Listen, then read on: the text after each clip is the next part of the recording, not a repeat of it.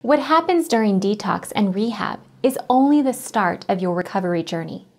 When you take the opportunity to share your addiction story with others, it can be just as important as cleansing your body and mind of toxins. As you share your success and remember how far you've come, you will continue to work hard at staying clean. Many people are hesitant to begin sharing their addiction and recovery journey.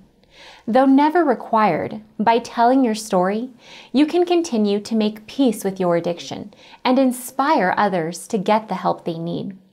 Stories are the glue that holds a community together. The more people who do their part, the stronger we are.